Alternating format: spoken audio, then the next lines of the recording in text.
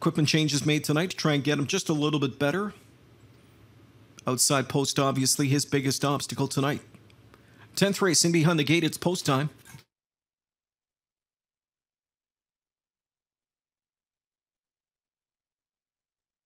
Here they come.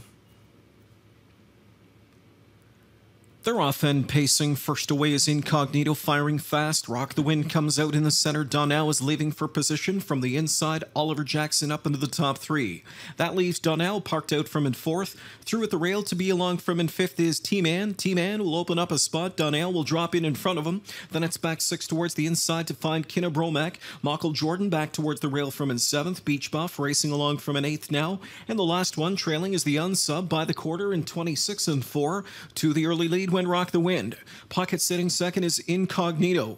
Third to the rail when Oliver Jackson. Donnell dropped in fourth. Racing off the speed team and the favorite there from in fifth. Sixth across the backstretch, stuck towards the inside. That is Kinnabromack. Getting underway from the backfield comes Michael Jordan, followed by Beach Buff and the unsub. They come to the midway point. Donnell pop first over here as Luke Willett is back on the accelerator. He'll come after Rock the Wind, who's put up an opening half in 57 flat for Mayotte. Got a second panel in 30 and one. A big breather for Rock the Wind, who's coming under attack right now from Donnell. Donnell was blasting off here in this third quarter, trying to come after Rock the Wind, who got that soft second panel, takes the field towards the far turn. It's Rock the Wind on top by a length. Donnell was second on the outside, being given the evil stare. Back towards the rail from in third is Incognito, covered up in fourth is T-Man. Then it's back to a locked up Oliver Jackson fifth, sixth out there on cover, Michael Jordan seventh from the backfield. Beach Buff launched to unwind from the backfield. Further back to the unsub, three quarters 126 into the stretch, rock the wind.